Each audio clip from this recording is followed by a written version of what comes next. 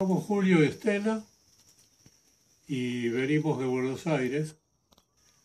Argentina. ¿Cómo? Argentina. Argentina, sí.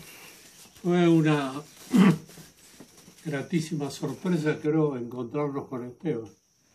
Veníamos No, recomendados Fernando. ¿eh? Fernando. por le- Fernando. Fernando, dijo usted. Este, veníamos ah, recomendados por una colombiana amiga que no dejáramos de ver el- esta zona cafetera, pero calculábamos que íbamos a tener eh, tours ah, tradicionales, digamos, ¿no? Y nos encontramos con todo lo contrario, un tour que además de ilustrarnos muchísimo, nos permitió mezclarnos con la gente, conversar, ver cómo es Fernando conocido en todas partes, pero además cómo él se esforzaba en hacer conocer a la gente y hacernos conocer a nosotros cómo era esa gente, convidarnos con los ricos manjares que había por, la zona.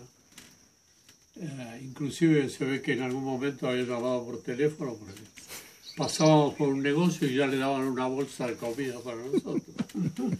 Este, creo que sobre todo, además del conocimiento y de, de esto que estamos comentando, ah, lo más destacable para mí por lo menos fue la buena onda, ¿no? La- eso de que siempre estaba alegre, siempre estaba contento, siempre estaba con una broma y siempre aceptaba las bromas, Además, de- que a veces se le hacían, ¿no? dispuesto a hacer todo lo posible para que estuviéramos cómodos, para que nos sintiéramos a gusto.